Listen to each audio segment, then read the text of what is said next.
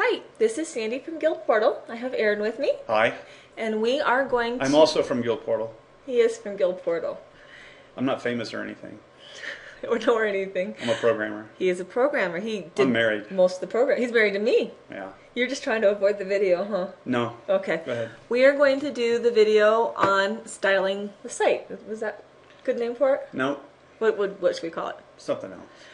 Okay, this is how you, You use one section of the control panel to style your site. Mm, in case you don't like our themes, which you should. okay, in case you're really good at graphic arts, which I am not. All right, I am logged into my guild site. I am an admin, so I have control. You I I have a- super admin access. You have absolute power. Now, most of our editing. That was geeky. It's okay. We're geeks. Can be done over here on this line. If you go to the end, you can do some edit. You can do widgets. You can do drag and drop. But we are doing deep, hardcore editing here. We are changing the look of the site. So we're going to return to preview mode. We're going to click on the control panel.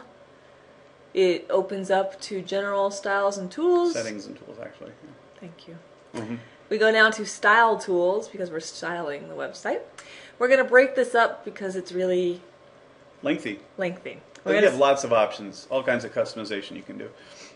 But we're going to start with the first one. Okay, which is general style settings. I can't, oh wow. So I clicked on that, and it's gonna, over here on the right, is where most of our stuff is done. Um, the first tab it opens up to is the background tab. So, um, we can have a background color, but if you have a background image URL, doesn't matter what your background color is, correct? It does. Uh, your background image could fade into a uh, transparency uh, or could fade into a color. Uh, the newer um, styles that you see, uh, some of the more professional sites have a great big, well, yeah, an image that looks pretty large and uh, it's got a blank space in it for the content and the rest of it fades into a color and the background color of the page matters a lot there. So they have. You can't really show it there. Yeah, this, yeah. okay, I was trying. My mistake. Alrighty, so it might, or in this case, it doesn't matter what the color is in the background. Actually, in that case, it does. Okay, because it fades to the image fades to black and the rest of the page needs to be black too. there it is. Ah, it fades to black down here. Yep. Way down the bottom. Alrighty.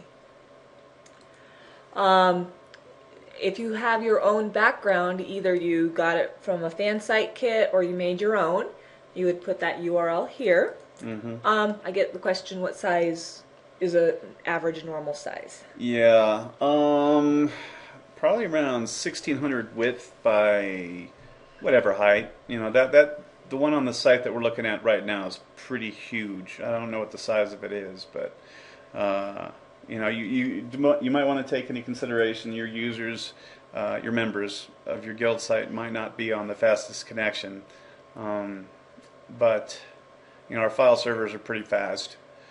But you can't upload a file over what size? Because I get that a lot. Five megabytes. Uh, Really, it, if your if your background's over five megabytes, that's too much anyway, just for downloading. But uh, run it through an optimizer in whatever graphics program you have available, even if it's a free one like Paint.net or GIMP, um, or you know a paid one like Photoshop. Just run that through an optimizer before uploading it. Oh, I wish I could definitely. And then another one, totally off the subject. Music. Music is usually bigger than that. So, but okay. What are these uh, three buttons over here on the side? I got my color wheel. And the color wheels are so you can create a gradient that's a fade from one color at the top to another color at the bottom, and uh, you can you can have that be the background of your website. Uh, like go ahead and hit update preview. That just shows you and uncheck glossy because glossy wouldn't do very well on a yeah. So it'll fade, and then go ahead and try a height of 300. What's the height changing here? How how how long the grade is the gradient fade until it gets from one color to the next. But you've got two of the same yes, colors let's selected. change that. Let's go yellow, just so you guys can see the. Yeah, and then you'd want to make your background color um, the the same color as the one at the bottom. Mm, down over here. Yeah, Okay. Um, should we save this or No. not? Alrighty. So I'm not gonna I'm not gonna hit done because that would hit save. I'm just gonna exit out. Yeah. Um, That one right there it pulls from your guild storage in the file manager. So if you've uploaded something in the file manager, an image anyway, uh, it'll be displayed here, and you would just double click it, and it would make it the background. Oops. And you did. So we're not going to be saving changes here. And then what is this? That would be the preview icon. That really is only useful if you've got a gradient image in there. Okay. All right, next um, is display image titled, Tiled, centered, yeah. or at fixed position. Now this is mostly if you uploaded a picture right up, right? Yeah, uh, only if you. It only matters then.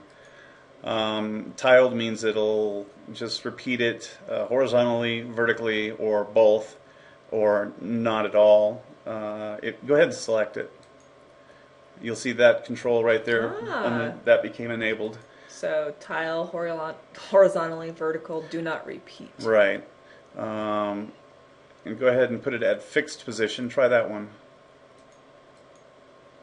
And then you put number of pixels from the top of the page, number of pixels from the left side of the page, and uh, and then we'll go ahead and put it back on centered.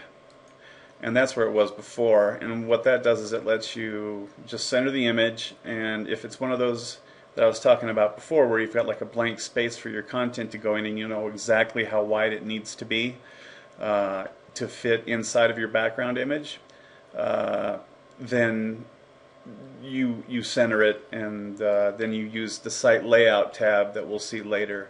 Or go ahead to there now to the site layout tab. All right, we're gonna. And it would be like the widget table width. That would be where where your content width goes. Um, and that would be exactly the space given. We'll come back to this one too, because as Yeah. support, I want to do that. So I'm gonna go back to the background tab. Click on that. Um, prevent background from scrolling.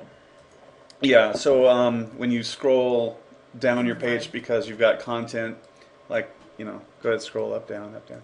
Uh, the background image that's on the side of the table, yeah, that thing wouldn't scroll. And uh, yeah, it's some people use it, other people's don't. All right, we're gonna cut this video short right here, and then the next video will be on um, the rest of the section. Yeah, okay. All right, thanks.